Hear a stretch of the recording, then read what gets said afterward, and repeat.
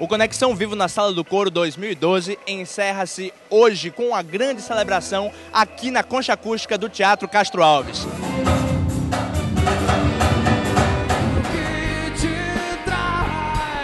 Eu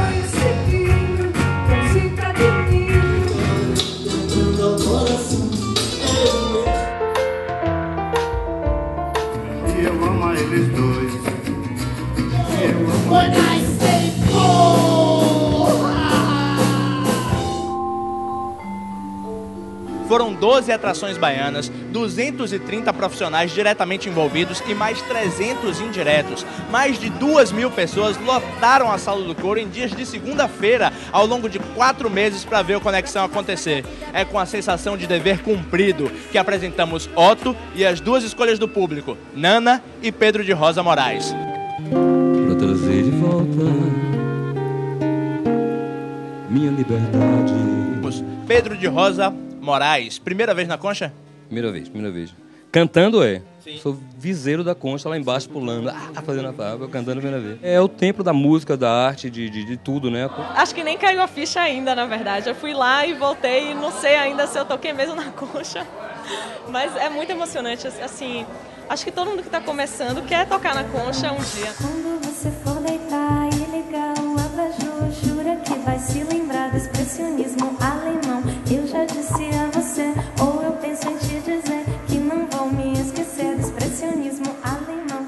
Qual foi o artista que tá tocando aqui hoje que te tirou de casa para vir ver o show? Hoje eu vim pro show de Otto, mas eu adorei o trabalho da Nana, um trabalho soteropolitano de responsa. Peguei o show de Pedro Moraes, que foi muito bom. Uma aula de samba, uma homenagem belíssima à Cartola. Quem ficou com medo da chuva e não veio, perdeu o quê, velho?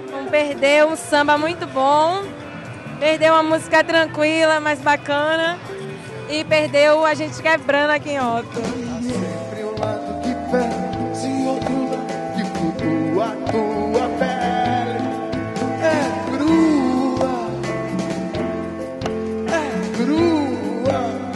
Então a Conexão Viva entrou na minha vida e foi criando uma troca. Na minha vida tudo é troca. Eles apostam em mim, então a gente faz grandes shows e agrega bandas novas, assim, que é, que é importante. Eu acho que, que o, o mergulho que o artista dá, ou não, ele, ele, ele reflete nas pessoas que vão vê-lo cantar. Então, eu sou um cara de abismo.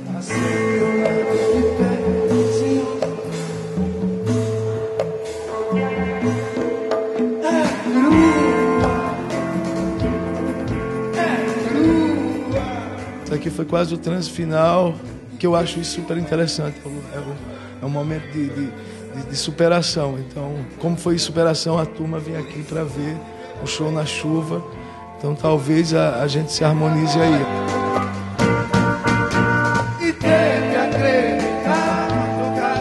Conexão Vivo na Sala do Coro 2012 agora acabou mesmo.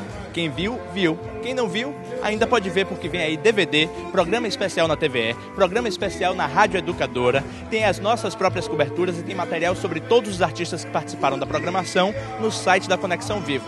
É só ficar ligado, falar com a gente e até a próxima.